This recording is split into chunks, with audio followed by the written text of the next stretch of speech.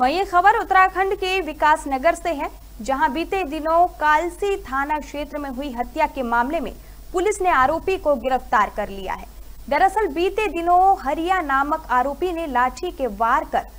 अपने पिता की हत्या कर दी थी। वहीं पुलिस ने हत्या के आरोपी हरिया को गिरफ़्तार कर जेल भेज दिया है। विकास नगर से इंद्रपाल सिंह की खास रिपोर्ट। ये थाना काशी अंदर ग्राम रूपो निवासी खजान सिंह द्वारा दिनांक 16 मई को एक तहरीर थाने पे दी गई कि उनके पिता अषाढ़ की हत्या उनके पड़ोसी हरिया आदि द्वारा की गई है। इस संबंध में थाना कालसी में धारा 302 के अंदर अभियोग पंजीकृत किया गया था, जिसकी विवेचना थानाध्यक्ष श्री वैभव गुप्ता द्वारा की गई और विवेचना के दौरान उन्होंने पाया कि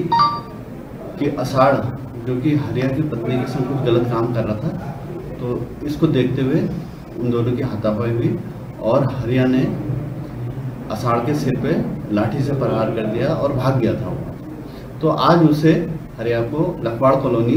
डाकपत्थर से गिरफ़्तार किया गया और उससे जो हत्या में प्रयुक्त लाठी है, वो भी बरामद कर ली गई है, जिसे आज न्यायालय में प्रस्तुत किया जाएगा। इस प्रकार हत्या का खुलासा किया